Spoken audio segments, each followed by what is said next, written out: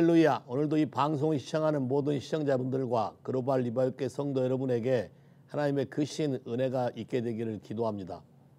오늘은 특별히 시간이란 개념에 대해서 한번 생각해 볼까 합니다. 많은 사람들이 자기가 사는 시간이 무궁무진하게 많이 남아 있을 거라고 생각하는 분들이 참 많습니다. 요즘에 이스라엘에 일어난 하마스와의 전쟁을 보면서 전사자의 명단이 올라올 때 대부분 19살이에요. 그 다음에 20 초반, 21, 22. 많이 먹어야 33, 4 정도. 그걸 볼 때마다 마음이 참 어, 아프기도 하고 저 사람들이 젊어서 저렇게 세상을 뜰 거라고 생각해 봤을까? 이런 생각도 많이도 하게 하고 여러 가지 시간의 개념에 대해서 생각해 보게 되는데 오늘도 성경을 통해서 하나님이 우리에게 시간을 어떻게 하라고 하는가에 대해서 말씀을 나눠보도록 하겠습니다. 이 방송을 들으신 여러분에게 하나님 말씀을 통해서 여러분의 삶의 목표와 방향과 인생의 계획에 대한 모든 지혜가 있게 되기를 예수로 축복합니다. 아멘. 자, 모든 사람이 살아갑니다. 여러분은 삶 가운데서 어느 때가 가장 길었다고 생각하십니까? 0대, 10대, 20대, 30대, 40대, 50대 쭉. 어느 시간이 제일 시간이 안 가고 제일 길었어요? 제가 크리스틴을 보니까 16세부터 I'm 16 하기 시작했는데 아마 10대에서 20대. 야, 제 기억은 20대예요. 한국의 10대는 학교 다니다 정신 없죠. 공부하느라고 정신이 없어요. 뭐 할 게 없어요. 그러니까 가요. 어차피 20대는 뭐 이제 군대도 가야 되고 한국에서는 대학도 해야 되고 취직도 생각해야 되고 이게 굉장히 시간이 오래 걸리는 것 같아요. 근데 약간 20이 넘어 30만 되는 순간부터는 어느 세월의 시간이 가버리는지 모르게 빠르게 하는 것이죠. 사실 시간이란 개념이 똑같이 갈 거예요. 그냥 본인들이 해석하고 본인들이 느끼는 개념에서는 차이가 있다는 것이죠. 나이가 들어가면 갈수록 세월이 참 빠르단 말을 많이 하실 거예요. 그만큼 그런 얘기를 하는 이유는 여러분에게 나에게 새로운 인생이 주어진다면 그런 생각 해보신 적 있으시나요? 내가 지금 10대라면 내가 지금 20대라면 아니면 내가 사는 날이 얼마 산 남았는지를 내가 확실히 안다면 나는 어떤 삶을 살 것인가? 그런 생각 해보신 적 있나요? 대부분 바쁘기 때문에 그냥 지나가요. 그러나 성경은 우리에게 이런 걸 많이 얘기하죠. 자, 먼저 얘기할까요? 하나님은 우리에게, 예수님은 우리에게 분명히 얘기했어요. 나를 믿는 자는 나의 하는 일을 할 것이요. 나보다 더 큰 일도 하리라. 그 이유는 내가 아버지께 가기 때문에. 예수님이 육신으로 계실 때는 제한적이기 때문에 예수님이 계신 곳에서만 역사가 나타났죠. 예수님이 계시지 아니하면 성령님이 오시기 때문에 어디서나 예수님이 하신 일을 할 수 있어요. 기본적인 모든 걸 할 수 있을 뿐만 아니라 성령께서 우리에게 무한적으로 역사할 때는 예수님이 하신 것, 예수님은 성경에 기록된 걸 완성시키고 이루기 위해서 오셨기 때문에 그 외에 다른 어떤 것들은 시간 스케줄에 의해서 하지 않은 것도 있을 수 있죠. 그렇지만 우리에게는 무한적으로 주어진다는 것이죠. 자, 이게 주어진다는 말은 다시 주님을 만났을 때 여기에 대한 책임을 묻는다는 소리가 되는 것이죠. 다시 말해서 시간을 어떻게 사용했느냐라는 텀이 우리에게 주어지는 거예요. 시간. 많은 사람들이 시간과 돈에 대해서만큼은 자기가 다루는 것을 어려워합니다. 시간에 대한 개념, 돈에 대한 개념. 근데 성경은 뭐라고 말하죠? 창세기 1장 26절에 하나님이 사람을 하나님의 형상과 모양대로 창조하시고 피조물을 다스리도록 해 놓으셨죠. 자, 다스린다. 그러면 돈도 피조물이죠. 시간도 피조물이네요. 왜냐하면 in the spirit 영원한 나라에서 시간은 없어요. 예수님은 처음과 나중이세요. 동시에 존재하세요. eternal이세요. 영원하세요. 사람이라는 삶 안에서만 시간이 존재하거든요. 그것도 과거와 현재와 미래를 구분하기 위해서 우리에게 주어지는 타임라인이죠. 이해하시겠습니까? 그러다 보니까 이거를 다스려야 된다라고 생각하는 것보다 많은 사람이 이 부분에 대해서 다스리는 게 아니라 오히려 시간에 쫓겨 살죠. 여러분의 인생은 어떻습니까? 시간을 다스립니까? 시간에 쫓깁니까? 학생 때는 어떤 숙제를 내야 되는 마감 시간이 있어서 그 시간까지 되지 않으면 시간에 쫓기게 되죠. 직장에 다닐 때 어떤 프로젝트를 하게 되면 프로젝트의 듀 타임이 있어요. 그때까지 이걸 하지 못하면 인사고과에 문제가 생겨요. 여러 가지 것들이 시간적인 제한 라인이 주어진다는 것이죠. 이해하시겠습니까? 그러면 우리에게 하나님은 어떻게 하라고 하셨을까요? 시편 8편 6절에 보면 자 읽어볼까요?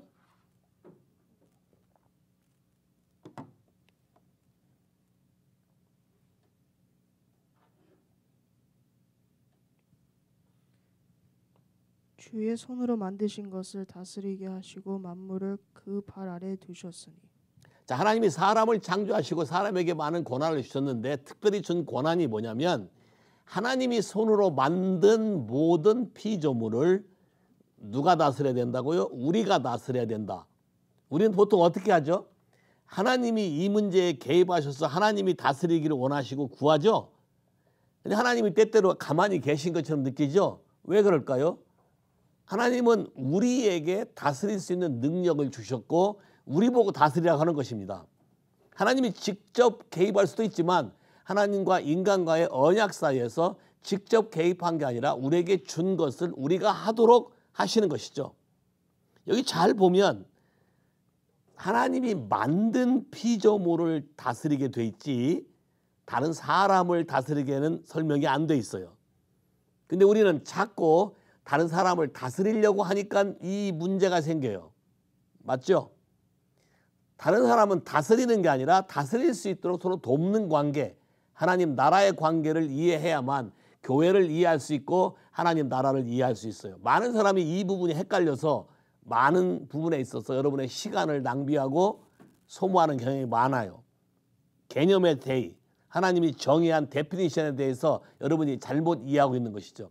피조물에 대한 걸 다스렸다는 것이죠. 그러면 실제로 다스려야 되는 것은 사람이 아니고 여러분에게 주어진 환경이죠. 근데 여러분에게 주어진 환경은 여러분이 다스리려고 하지 않아요. 피하려고 하지. 그러니까 문제가 생기는 거예요. 우리는 원래대로 돌아가셔, 돌아가야 돼요. 하나님이 정한 위치대로 돌아가야 돼요. 그분이 세운 바운다리 안에 들어가야 돼요. 그분이 세운 질서 속에 들어가야 돼요. 하나님은 이거를 우리에게 동작시키고 우리가 할 수 있게 잃어버린 모든 포지션을 할 수 있게 아들 예수를 보내셔서 이 모든 거를 완성시키셨어요. 그래서 나를 믿는 자는 나보다 더한 일을 할 것이고 더, 나보다 더 큰 일까지 할 거라고 얘기한 것이죠. 왜냐하면 완성시키시고 성령을 보내시기 때문에 우리가 무한적인 자연 만물을 다스릴 수 있게 해놨다는 것이죠. 기도 자체도 헤븐리 싱을 어스리 싱으로 다운로드 시켜서 움직일 수 있는 사람은 사람만 가능한 거예요. Your kingdom come, your will be done on us as it is in heaven. 누굴 통해서요? 믿는 사람을 통해서. 짐승은 불가능해요. 사람만 이 세상과 하늘의 영역, 영과의 관계를 연결시킬 수 있는 것이죠. 그럼 잘 보세요. heavenly thing은 timeless zone이죠. eternal time이에요. earthly zone은 time zone이에요. 어떻게 connect 시킬까요? 이 부분에 있어서 connect 시키는 것이 개념이 shift 돼야 되는 거예요. 이 그림을 잘 이해하면 earthly zone에서 이미 지나간 과거지만 heavenly zone에서는 언제나 가능한 거예요. 예수를 믿는 사람만 받아들여서 born again 되어서 성령이 여러분 안에 거하는 사람만 여러분의 과거의 문제를 다시 다룰 수 있는 기회가 주어지는 거예요. 왜냐하면 time zone, heavenly time zone에 들어가게 되면 거긴 time이 없으니까 과거, 현재, 미래가 같이 있는 거니까 그 상황에서 그거를 해결할 수 있고 해결해서 내려뜨려 버리면 여러분의 현재 문제가 바뀌는 것이죠. 이해하시겠습니까? 근데 많은 사람들이 이 시간의 개념을 사람들이 생각해 놓은 시간의 개념에서 해석하려니까 과거의 문제에 대해서 매여 살고 풀지 못하고 있죠. 또 과거 때문에 현재가 매이고 이 현재를 해결하고 못하니까 미래가 자동으로 매인 것이죠. 이 그림 이해하시겠습니까? 그러면 하나님은 이 그림을 어떻게 해결하라 하셨는지 이해할 필요가 있어요. 하나님 나라 컨셉으로 좀 가볼까요? 어떻게 피조물을 다스려야 되는가? 자, 먼저 예배소서 5장 15절에서 17절까지 한번 읽어보겠습니다. 그런즉 너희가 어떻게 행할 것을 자세히 주의하여 지혜 없는 자같이 말고 오직 지혜 있는 자같이 하여 세월을 아끼라 때가 악하니라. 그러므로 어리석은 자가 되지 말고 오직 주의 뜻이 무엇인가 이해하라. 오케이. 여기 굉장히 재미난 말을 했어요. 그런즉 너희가 어떻게 행할 것인가 자세히 주의하여 지혜 없는 자같이 하지 말고 지혜 있는 자같이 하라. 지혜 있는 자처럼 이 세상을 살아야 되는데 이 세상을 사는데 지혜 있는데 제일 관심 있는 게 뭐냐면 time이라는 거예요. time. 자 어떻게 하면은 eternal life 하늘에 있는 eternal time 영원한 time의 zone에서 이 땅의 제한적인 time의 zone에 내려올 수 있는가 이런 부분에 대해서 우리가 성경을 통해서 배울 필요가 있고요. 여러분의 현재 사는 삶은 과거와 현재와 미래가 있어요. 그러나 영의 세계 속의 삶은 그게 없어요. 과거와 현재와 미래가 그냥 원 포인트예요. 이터널이에요. 예수님은 처음과 나중이죠. 시작과 끝이죠. 같아요. 그러니까 처음부터 끝을 얘기한다 그러잖아요. 달라지는 게 없어요. 예수님이 말하시는 하나님 말하시는 것은 프로세싱을 말하지 않아요. 처음 말하는 것이 결과예요. 지나가는 동안 우리에게만 프로세싱이 존재하는 거죠. 어떠한 과정이라도 반드시 과, 마지막으로 갈 거예요. 그대로 될 거예요. 이거 이해하십니까? 그러면 여러분 이 그림을 잘 이해하면 왜 Your kingdom come, your will be done, on earth as it is in heaven 하는가? 여러분이 과거에 실패한 이슈를 다루지 않으면 현재에 그게 영향을 주고 있을 수 있고 현재 영향받는 것은 여러분의 앞날이 또 그렇게 될 수밖에 없어요. 미래적으로. 그럼 여러분이 한 번 실수하게 되면 여러분의 인생이 좌절하고 소망이 없어요.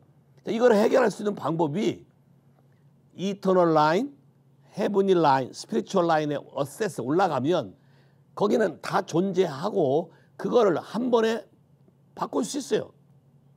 time zone이 없기 때문에 모든 것을 고칠 수 있어요. 바꿔서 내려와서 현재 삶에다가 대입시켜 버리면 여러분의 과거 현재가 바뀌어서 현재로 바뀌어서 새로운 삶으로 다, 다가온다는 것이죠. 그래서 세월을 아끼라라고 한 이 세월을 아끼라는 우리가 생각하는 크로노스 타임이 아니고 카이로스 타임이다. 하나님이 행하시는 하나님의 타임이다. 어포인트 타임이다. 이해하시겠어요? 그러면 여러분이 그냥 이 세상을 그냥 세상에 그냥 아무 목적도 없이 의미도 없이 그냥 살아갈 일이 아니고 어떻게 살아야 우리가 자세히 주의해서 어떻게 살아야 우리에게 유익이 되는가를 분별하라는 것이죠. 그 말은 그냥 살아간 삶 가운데 하나님이 뿜 우리에게 어떤 사인을 주는 right time이 주어진다는 것이죠. 그 time을 분별해낼 수 있어야만 여러분이 세월을 그냥 의미 없이 보내지 않고 과거에 실수한 것이라도 하나님이 주어지는 이 기회에 모든 것을 회복하는 나중에 골로새서 있겠지만 redeeming time이라고 표현하고 있어요. 그거를 그 시간 모든 것을 다 복구시킬 수 있다. 새롭게 할 수 있다. 그러니까 여러분의 과거 문제를 다룰 수 있다는 거예요. 또 미래에 일어날 수 있는 문제도 다룰 수 있어요. 해결할 수 있다는 거예요. 소망이 생기십니까? 자, 그러면 그렇게 하기 위해서 지금 현재 그렇게 하라는 거예요. 왜 시대가 악하니까 네가 지금에서 해결 안 하면 나, 나중에 더 악하니까 더 하기 힘들어진다는 것이죠. 자, 그런데 그러면서 therefore 17절에 뭐라고 되어 있는지 아세요? 어떻게 하여야 이걸 할 수 있는가? 그런즉 너희가 어떻게 행할 것을 자세히 주의하여 지혜 없는 자가 하지 말고 세월을 아끼라 때가 악하니라 그러므로 어리석은 자가 되지 말고 오직 주의 뜻이 무엇인가 분별하라 하나님의 뜻이 뭔지를 이해해야 그분의 kairos time을 찾아내서 여러분이 반응할 수 있다는 거예요. ready go 했을 때 go 하면 된다는 것이죠. 기다려 그러면 기다리면 되는 것이고 우리가 서두를 이유가 없다는 것이죠. 근데 우리는 이렇게 살지 않고 우리가 정해놓은 타임라인에 살기 때문에 뭐를 해야만 된다고 생각하니까 바쁘죠. 바쁘니까 시간이 여러분의 인생을 주관하게 돼요. 여러분이 시간을 다스리는 사람으로 창조되었는데 거꾸로 피조물인 시간이 여러분의 인생을 가지고 좌지우지한다는 것이죠. 이해하시겠어요? 약속 지켰네 안 지켰네 늦었네 안 늦었네 우리 개념이잖아요. 하나님의 개념은요. 아닐 수 있어요. 만약 우리가 이터널 개념을 이해하고 여러분의 마음이 플렉서블하게 된다면 5분 늦게 온 것도 아무런 부담 없이 허트되지 않고 받아들일 수 있어요. 이해하시겠습니까? 여러분 생각에는 5분 미스된 걸 어떻게 메이크업하지? 할 수 있어요. 자, 이 개념을 배우는 게 세월을 아끼다는 거예요. 그래서 주의 뜻이 뭔지를 분별해라. 이해하시겠습니까? 그럼 주의 뜻이 무엇인지 분별을 해놓고 18절에 재밌어요. 술 취하지 말라. 이는 방탕한 것이니 성령 충만을 받으라. 그러면 주의 뜻이 무엇인지 분별하려면 반드시 여러분은 뭘 받아야 돼요? 성령 충만함을 받아야 되는 것이에요. 다시 말해서 여러분의 생각하는 시간 개념이 아닌 하나님이 여러분 보고 이 세계의 시간 개념을 다스리라고 준 그분의 시간 개념을 이해하고 그분의 시간 개념에 따라서 여러분이 반응하기 시작하면 이 세상의 시간 단임을 다스릴 수 있다는 거예요. 이해하실 수 있습니까? 여러분 이 개념을 이해하고 성령과 교제해서 하나님께 다운로드 받는 걸 배우기 시작하면 one second에 여러분의 숙제 끝낼 수 있어요. 그리스도인 이해하잖아요? 시험 볼 때 one second에 해답할 수 있어요. 그분이 다운로드 줘요. 계시로 말해줘요. 자, 영의 세계에서만 알 수 있는 거예요. 그러면 그분의 타이밍을 이해하는 것이 세월을 아끼고 지혜롭게 사는 삶이에요. 세상은 바쁘지만 우리는 안 바쁠 수 있어요. 이해하세요? 세상은 느긋하지만 우리는 뭔가 준비해야 될 필요성이 있을 수 있어요. 노아처럼요. 세상은 안 바쁘죠. 그냥 세워라 내워라잖아요. 노아는 아니죠. 뭔가 준비하는 타임이 진행되고 있죠. 여러분이 이 개념을 이해해야만 여러분이 속해 사는 크로노스 타임존에서 kairos time을 받아들여서 그걸로 세상을 다스리면서 살 수 있다는 걸 말하는 것이에요. 이 그림 이해하시겠습니까? 여러분이 이 그림을 받아들일 때 여러분의 마음이 굉장히 편해져요. freedom이 오고 relax가 되고 여러분이 계획한 대로 진도가 안 나가고 꼬일 때 당황하지 않게 돼요. 그리고 what do you want to do? 하나님의 뜻을 분별하게 돼요. 주의 뜻이 무엇인가를 알고 싶어져요. 왜 하나님이 브라킹 하시지? 뭔가 이유가 있어요. 우리가 생각하는 스케줄이 계획이 꼬이거나 대부분 화를 내고 난리치죠. 그리고 그, 그거 한 사람을 잡들이하고 난도질하죠. 그럼 모든 게 단절되고 끊어지죠. 더 이상 성령의 역사가 할 수가 없게 되버리잖아요. 이 개념 속에서 여러분이 자유하게 되는 것은 여러분에게 주신 기본적인 도미니언, over time, creature, 시간과 돈의 개념을 하나님의 방식으로 다스리기 시작하면 당황하지 않을 수 있다. 여유 있게 누릴 수 있다. 오케이. 자, 하나 더 볼까요? 골로새서 4장 5절.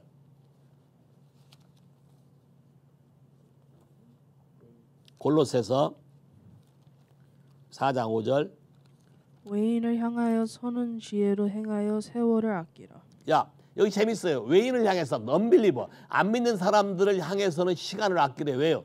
여러분이 안 믿는 사람들 구한다고 하다가 그 사람들의 말에 말려들어서 괜히 효과도 없는 시간 많이 낭비하죠.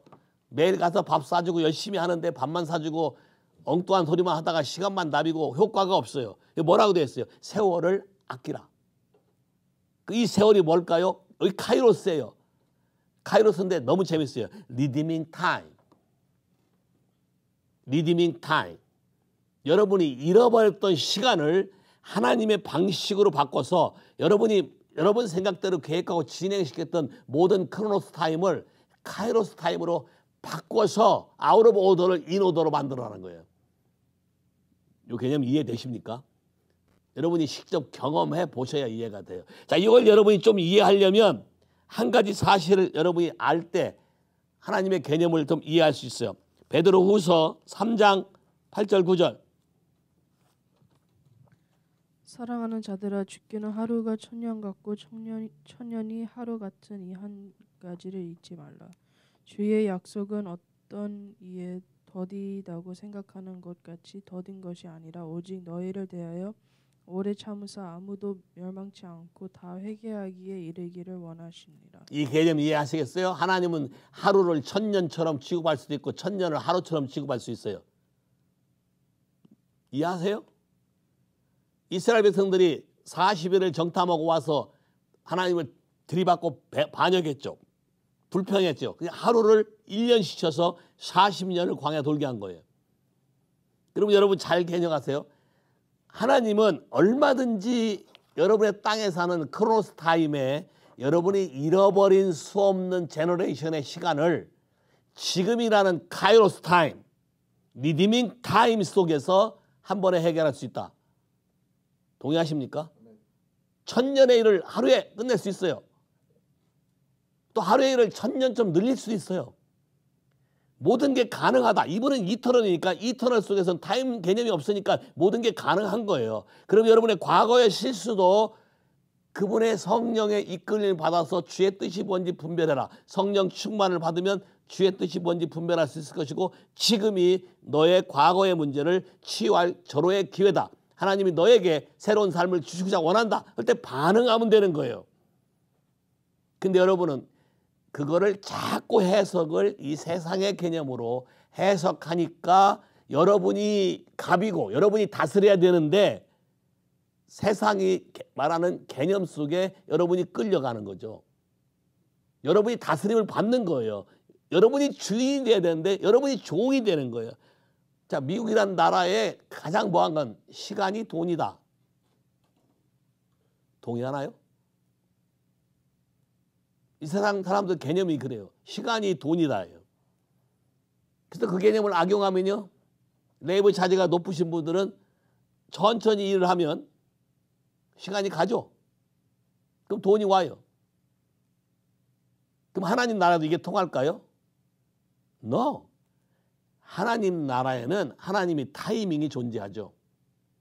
Right now. 이 타이밍이요. 제가 now라는 타임을 참 좋아하는데 나오는 이터널이에요. 나오는 언제든지 나오가 돼요. 봐요. 여러분이 in Christ, 예수 안에 있으면 어떤 실수를 했든지 now 하나님 앞에 반응하고 성령을 따라가면 과거에 모아는 수천 년 시간도 지금 한 번에 성령이 하자고는 그 시간에 마음을 열고 커넥만 시키면 뿜! 예수의 피가 역사해서 여러분의 타임라인이 바뀐다는 거예요. 동의하시겠습니까? 이 그림을 여러분이 받아들이셔야 돼요. 하나님 나라의 타임라인. 여러분 보고 시간을 다스려겠을 때는 이런 하나님 나라의 개념이 있기 때문에 하나님을 추로스하고 여러분을 하게 되면 인생을 그렇게 하지 않아도 할 수 있다는 것이죠. 이해하시겠습니까? 성경을 쓰신 분들이 과거에 이미 기록된 그 많은 계시를 알고 썼을까요? 아니죠. 다운로드 받아 썼는데 그 많은 역사의 계시를 한 번에 one time에 그냥 끝낸 거죠. Kairos에. Redeeming time. 이해하시겠습니까? 여러분이 이 믿음이 있으면 여러분의 시간을 다스릴 거예요. 그럼 여러분에게 이 시간이 주어지게 하기 위해서는 성령이 역사해야 되죠. 성령이 역사하려면 여러분이 이걸 믿음으로 받아들여서 그분에게 여러분의 시간을 드리기 시작할 때 그분의 시간을 여러분에게 릴리스하기 시작하는 거예요. 됐나요? 여러분의 시간을 여러분에게 드리기 시작하면 그분의 시간이 여러분에게 커넥할 수 있는 커넥 포인트가 없어요. 이 그림을 배우셔야 돼요. 어떻게 하늘과 땅을 연결시키지? 어디서 연결이 일어나지? 여러분의 마음에서 일어나는 거예요. 그분의 영과 내 영이 커넥된 그 장소, 여러분의 마음에서 어떻게 이분에게 내 삶을 드리기로 결정하는가 안 하는가에 따라서 커넥션이 되냐 아니냐가 결정이 되는 거죠. 이 그림 참 재밌어요. 커넥션 되는 순간 여러분 그, 그 뭐야 누가 찍은 영화지? Back to the Future인가? 몇 시 딱 되면 갑자기 번개처럼 따라락 와서 전기 연결되면 과거로 휙 가버리잖아요. 아 미래로 가는구나. Back, Back to the Future지 그거요. 퓨처 미래 앞날로 가는 거. 어찌됐건 그게 heavenly timeline하고 earthly timeline하고 여러분이라는 매개체를 통해서 여러분이 어떤 생각을 가지고 반응하냐에 따라서 여러분의 인생이 왔다 갔다 할 수 있다는 것이죠. 됐나요? 자, 그렇지만 우리는 여전히 어디서 살아요? 이 땅에 살아요. 이 땅에 살기 때문에 여러분은 이 땅의 timeline에 영향을 받아요.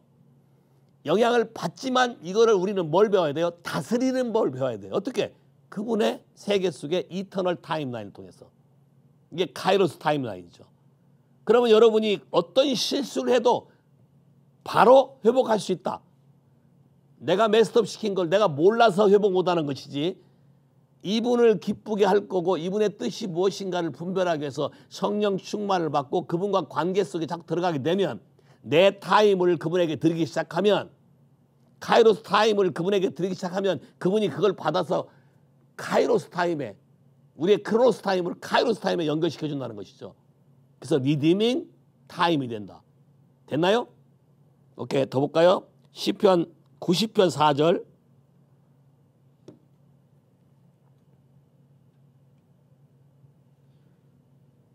주의 목전에는 천년이 지나간 어제 같으며 밤의 한 경점 같을 뿐이니이다.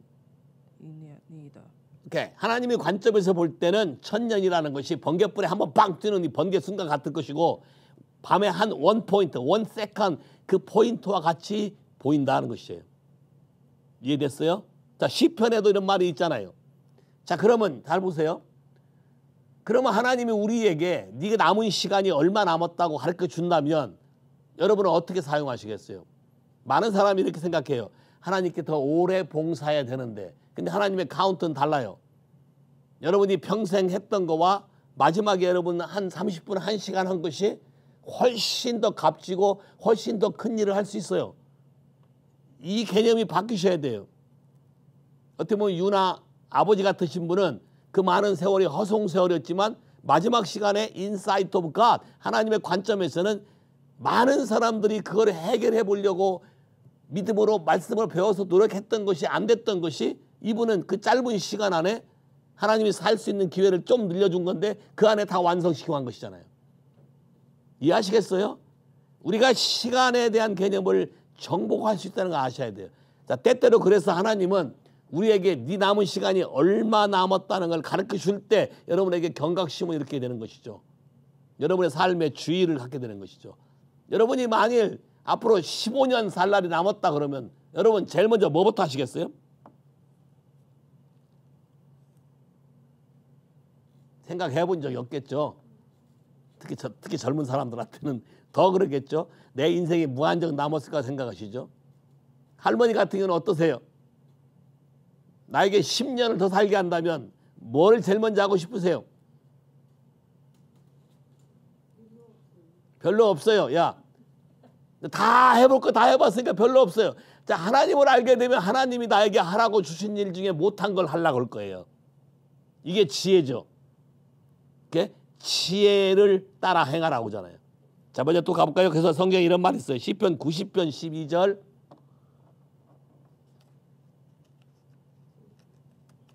시편 90편 12절.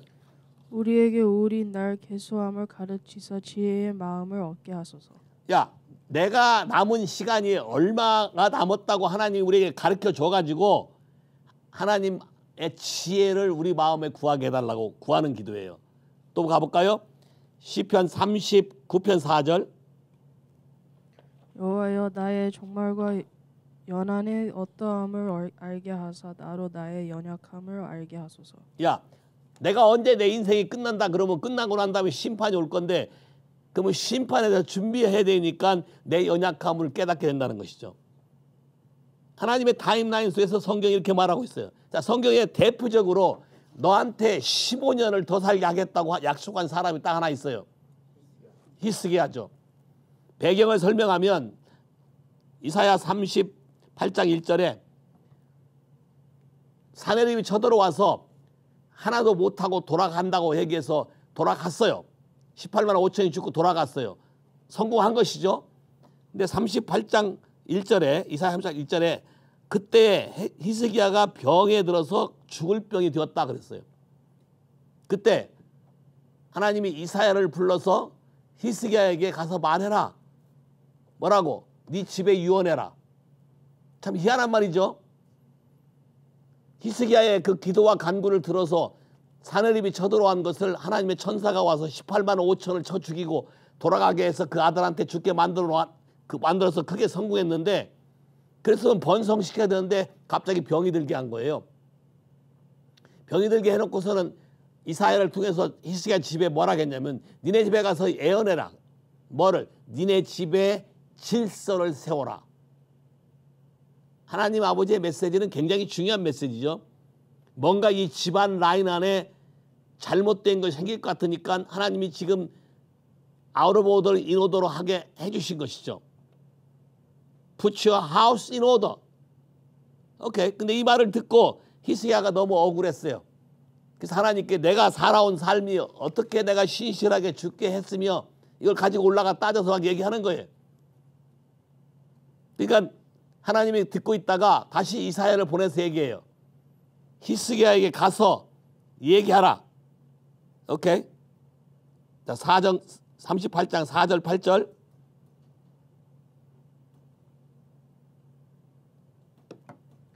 이에 여호와의 말씀이 이사야에게 임하니라 가라사대 너는 가서 히스기야에게 이르기를 내 조상 다윗의 하나님 여호와께서 이같이 말씀하시기를 내가 이 기도를 들었, 들었고 내 눈물을 보아노라. 내가 내 수완 내 15년을 더하고 너와 이 성을 아스로 왕의 손에서 건져내겠고 내가 또 이 성을 보호하리라.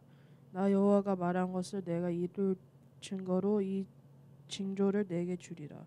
보라 아하스의 이령표에 나아갔던 해 그림자를 뒤로 십도를 물러가게 하리라 하시다 하라 하시더니 이에 일령표에 나아갔던 해의 그림자가 십도를 물러가느니라 히스기야가 억울하다고 생각하면서 Remember me, I pray 하고 crying 하니까 하나님이 들으시고 긍휼히 여서 답을 준 거예요. 15년을 더 살게 해주겠다.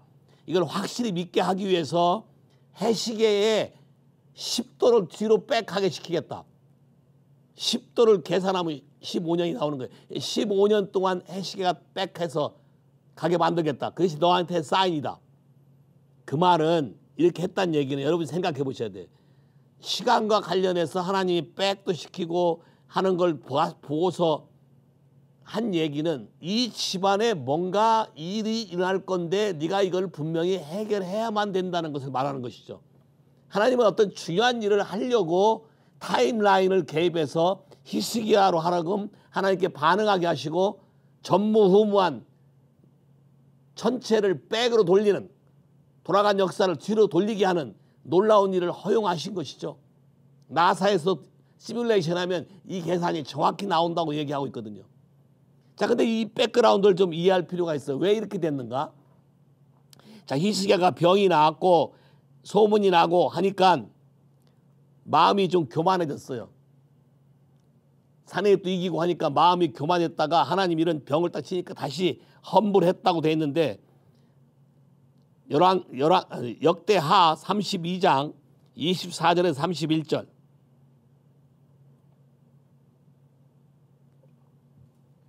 그때 히스기야가 병들어 죽게 된 거로 여호와께, 여호와께 기도하며 여호와께서 그에게 대답하시고 또 이적으로 보이셨으나 히스기야가 마음이 교만하여 그 받은 은혜를 보답지 아니하므로 진노가 저와 유다와 예루살렘에 임하게 되었더니 히스기야가 마음의 교만함을 뉘우치고 예루사, 예루살렘의 거민들도 그와 같이 하였으므로 여호와의 노가 히스기야의 생전에는 저에게 임하지 아니하니. 오케이 기다려 보세요.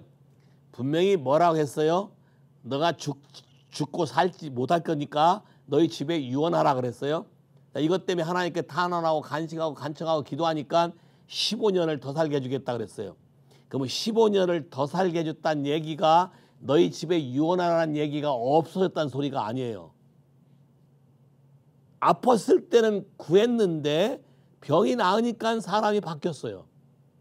자, 이걸 잘 보세요.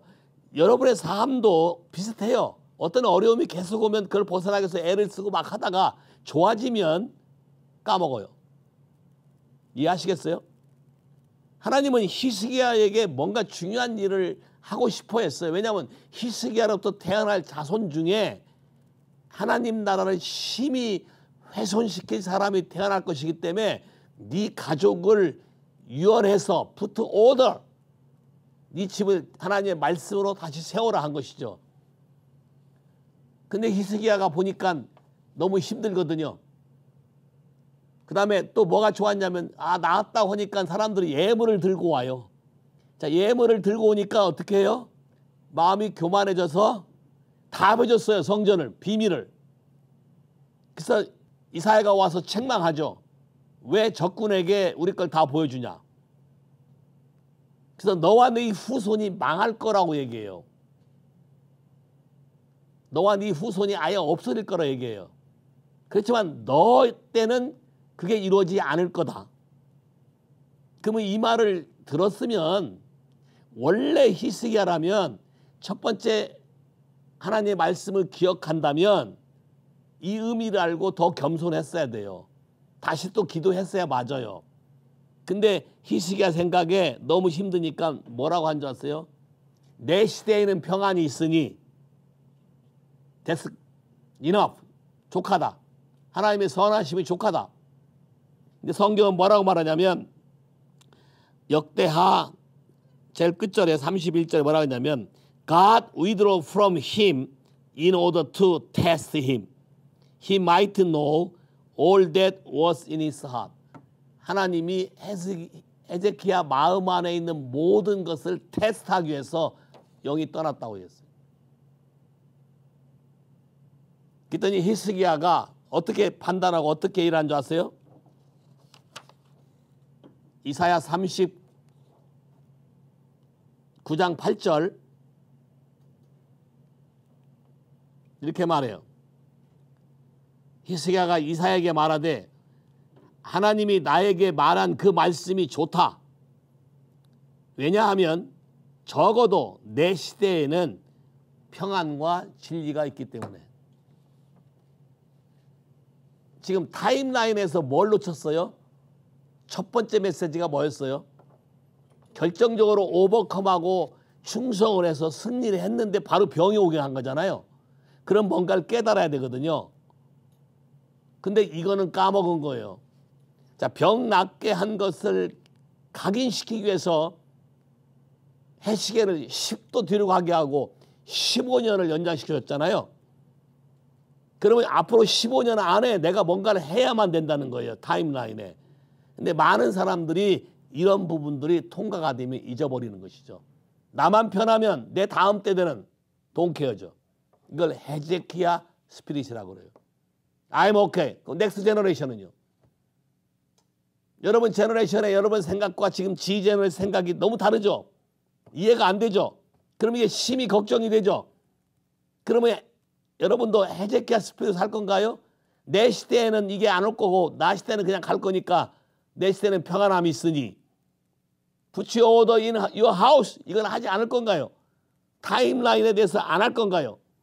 지혜로 세월을 아끼라는 것이죠. 왜요? 세상이 악하니라. 세상이 악하니라. 이해하시겠어요? 자, 이거에 대한 비밀이 드디어 태어나 알게 돼요. 가볼까요? 열왕기하 24장 3절 하반절부터 4절까지 Because of the sins of Manasseh 읽어볼까요? 마나세의 지은 모든 죄로 인함이 3절 하반절부터 모든 죄로 인함과 그 다음에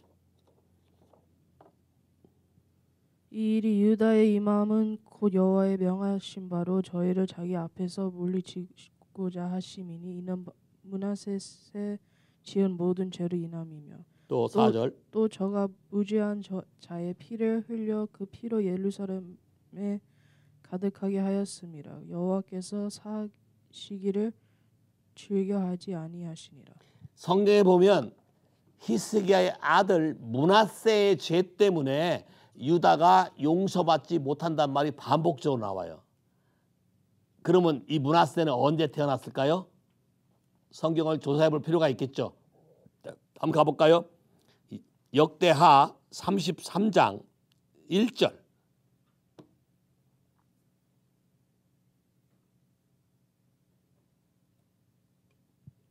문하세가 위에 나아갈 때에 나이 12세라 예루살렘에서 55년을 치리하며 잘 봐요.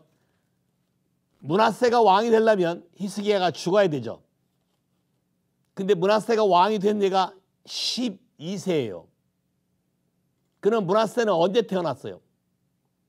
히스기야가 죽기 전에 태어난 게 15년을 더 살게 한 건데 그 안에 태어난 거죠. 그러면 그 안에 히스기야에게 redeeming time을 할 수 있는 기회를 줬는데 동케한 거예요. 요 그림 이해하시겠어요? 여러분에게 기회가 항상 주어지는 게 아니고 하나님이 하라고 주어지는 카이로스 타임에 해야 할 일을 해야만 리딤 되는 거예요. 다시 돌아가 볼까요? 에베소서 5장 15절에 17절.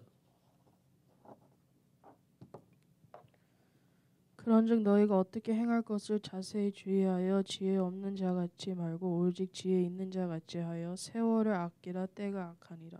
그러므로 어리석은 자가 되지 말고 오직 주의 뜻이 무엇인가 이해하라. 자, 여러분이 사는 세상 동안에 어떻게 행할 것을 조심스럽게 선택하라는 것이죠. 그 이유는 때가 악하다. 시대가 악하다. 여러분이 선택한 때 Kairos time을 분별해야 한다. 왜? 여러분이 사는 시대가 너무 악하기 때문에 Kairos time을 분별하지 못하면 time을 놓쳐서 problem이 생길 수 있다. 히스기야처럼 15년의 기간을 더 줬는데 12세에 왕이 됐으니까 15년 기간 준 중에 3, 3년 지난 다음에 태어난 거잖아요. 그러면 제대로 정신 차렸으면 12년을 교육시켰으면 제대로 했을 거 아니에요. 근데 내 시대에 평안함이 있으니 자, 이것이 하나님 말한 시대를 분별하지 못하고 하나님이 리디밍 타이밍 준 것을 잃어버렸다. 이해하시겠습니까? 여러분의 삶이 무한정 존재한다고 생각하지 마세요. 특히 10대, 20대에 여러분의 인생의 기초가 다 쌓여요. 그 다음에는 그걸 기반으로 살아가는 삶 연속이죠. 그 다음에는 여러분의 삶이 정신 못 차려요. 빠르게 돌아간다고요. 그 다음에는 여러분의 인생을 바꾸기도 어려워요. 방향도 바꾸기도 어렵고. 이해하시겠습니까? 시편 119편의 청년의 때에 여러분이 하나님의 말씀을 통해서 여러분의 마음을 다스려서 정욕을 삼가해야 된다. 라고 얘기하는 것이죠. 여러분의 마음대로 시간이 무한정 있을 것이고 내 시대는 한참 클 거기 때문에 아직도 멀었다 생각할지 모르지만 여러분의 파운데이션, 기초는 10대, 20대 아마 다 채워질 거예요. 이해하시겠습니까? 하나님 오늘날 여러분에게 많은 시간을 주는데 이 시간에 투자하는 것을 하나님이 기뻐하는 뜻을 분별하고 그 뜻대로 사는 것을 해야 된다는 것이죠. 요한일서 2장 17절에는 세상도 지나가고 정욕도 지나가지만 여호와의 뜻대로 행하는 자만 영원히 남을 거라고 얘기하고 있어요. 여러분의 삶의 선택 가운데 하나님이 여러분과 함께 일하고자 하는 Kairos time을 분별하는 시간에 투자하십시오. 하나님의 초점의 시간에 right away로 반응만 한다면 하나님은 여러분을 사랑하시기 때문에 답을 안 주는 게 아니라 답을 주었지만 여러분이 듣지 아니하고 동케하니까 문제가 되는 것이죠. 동케하니까 동케 스피릿이 오는 거예요. 이해하시겠습니까? 하나님은 우리에게 반드시 말씀하신다. 근데 우리가 관심을 갖지 않는다. 그러니까 깨어 있으라는 것이죠. 타임라인에 어떻게 할 수 있나? 여러분이 시간을 다스리고 있습니까? 아니면 시간에 끌려갑니까? 시간을 다스리는 사람은 하나님과 관계 속에서 사는 사람일 거예요. 그분과 관계 속에서 그분의 메시지, 그분의 묵상을 통해서 그분의 말씀, 지금 내가 해야 되는 것이 뭔지 알게 되는 타임라인에 있어서 여러분이 다스리고 있을 거예요. 여러분 시간 개념에 대해서. 근데 이걸 놓치게 되면 세상에 따라서 세상의 프렌과 때로는 여러분도 원하지 않는데 프레셔를 받으면서 끌려가는 것이죠. 인터넷 이런 다 끌려가죠. 너무 많이 끌려가요. 그런 와중에 노아의 시대처럼 소돔과 고모라 시대처럼 된다는 것이죠. 나도 모르게 젖어간다는 거예요. 이해하시겠습니까?